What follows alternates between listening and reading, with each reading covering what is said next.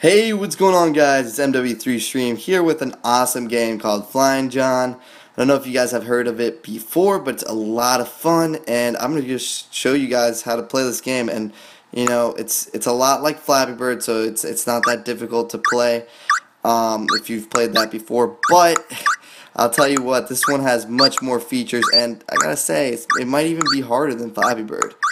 It's, it's a lot of fun, but I, am to tell you, it's not. It's a really addicting game. It's not easy to get far in this game, as you can see. Oh my gosh, no. I'm to get at least a 10 this time, or else I'm to be frustrated. There you go. No way. It's not easy at all, I'm telling you guys. Well, this is Flying Chad right now. I'm playing with a different character because it has different characters. Chad is uh, the most expensive and definitely my favorite. Uh, although, it, it's just not easy. Like, playing... this is If you like Flappy Bird, you're going to love Flying John. Much more difficult.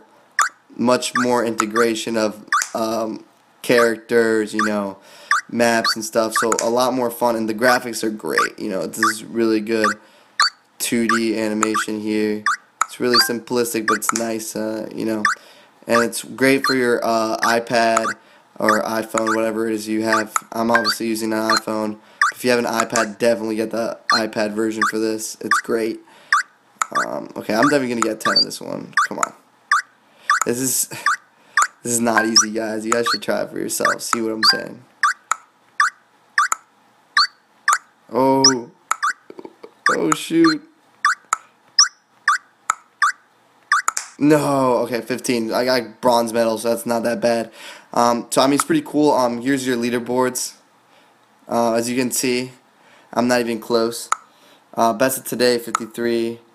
Best this week. It's pretty cool. It's a really simple game, but it's, it's much better and more integrated than uh, Flappy Bird was. So Flying John is definitely the best one to get right right now. So Flying John is like the basic bird you get first. and you get Bert, Lynn, Tweet, and Chad. Tweet's pretty cool. It looks exactly like the Twitter bird, but not really. But I mean, you know, you get the point. Um, so, and if you lock on all these, it's just to scroll through different backgrounds. So, um, it, it just uh, if you unlock more, then it's just to play with different maps. And then these are your eggs, which you need eggs to be able to play the game, but I mean, it's they're so cheap. I mean, you get the coins within the game, and once you use the coins towards it, you'll have so many eggs. Like me, I have a thousand. I'm set.